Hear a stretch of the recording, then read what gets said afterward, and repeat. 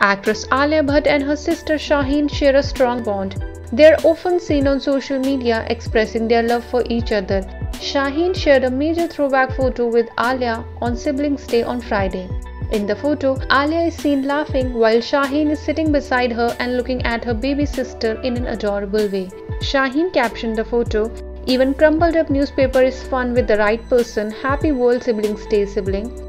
The writer also posted photos with her half sister Pooja and half brother Rahul with the caption Siblings. On the work front, Alia will be next seen in Ranbir Kapoor's starrer Brahmastra. IANS report.